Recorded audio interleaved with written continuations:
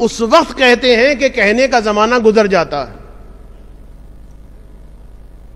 क्या करें मौलाना? बच्ची को बहुत कहते हैं, अब कॉलेज में जा रही है, बहुत कुछ कहा है, बस पर्दा नहीं करती। याद रखिए, पर्दा करना आसान काम नहीं है।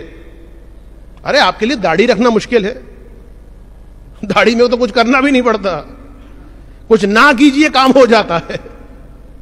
दाढ़ी तो इतनी आसान चीज़ है, कुछ ना कीजिए, खुद ब खुद हो जाएगा। सुबह उठ के वो जो है, उल्टा रेजर ना चलाइए।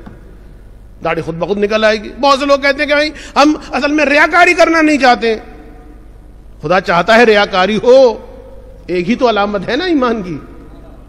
खुदा चाहता रियाकारी हो। इसलिए कि अगर खुदा न चाहता तो दाढ़ी पेट में होती।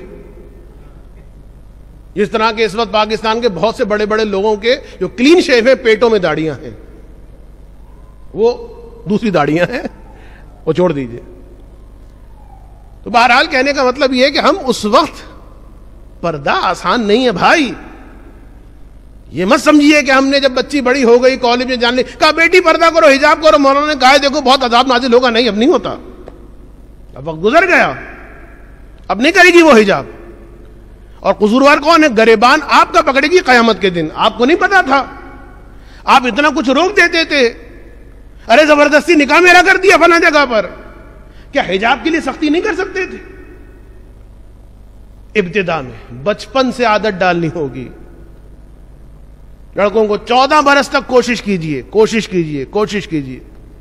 ना हो सके तो फिर बहरहाल, परवरदिगारा, हमने कोशिश की।